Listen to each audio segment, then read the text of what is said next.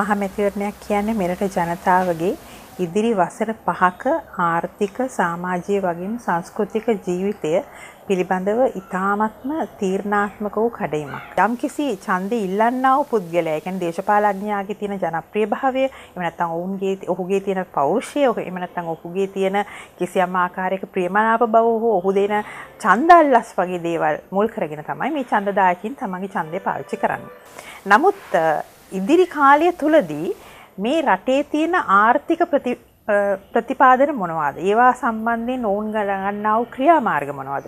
මිනිසුන්ගේ මූලික අවශ්‍යතා වෙනුවෙන් ඔවුන් සතු සැලසුම් මොනවාද? ඒවා හරි හැටි ක්‍රියාත්මක කිරීමට ඇති සැලසුම් මොනවාද?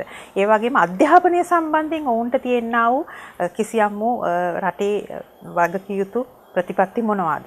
ඒ වගේම අනික් අතින් අපිට අමතකම කරන්න බැහැ රටේ සංවර්ධනය වගේම විශේෂයෙන් වැදගත් වෙනවා මේ රටේ ඉන්න වැඩ කරන ජනතාව. ඒ කියන්නේ ගොවි කම්කරු ජනතාව වෙනුවෙන් ඔවුන්ගේ සුබ සිද්ධිය සඳහා ඔවුන්ට යම්කිසි ආරක්ෂණ වැඩපිළිවෙලක් සහ වගේම ඔවුන්ගෙන් උපරිම සේවාදායකත්වයක් ලබාගත හැකි සැලසුම් මේ දේශපාලඥයින්ගේ අතේ තියෙනවාද. ඒ වගේම කාන්තාවන් සම්බන්ධයෙන් දක්වන ගෞරවය සහ සැලකිල්ල.